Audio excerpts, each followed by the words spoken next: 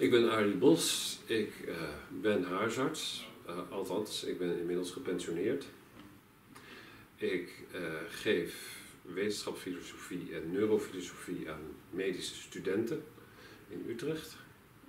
En ben dus ongelooflijk geïnteresseerd in beide. Um, dat zal ook mijn bijdrage aan deze, dit symposium zijn.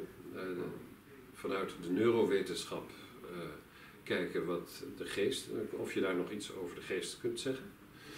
Dat is niet zo voor de hand liggend, namelijk. Voor de moderne neurowetenschap lijkt het erop alsof de geest op zichzelf niks voorstelt, maar dat het eigenlijk alleen maar werking is van de hersenen.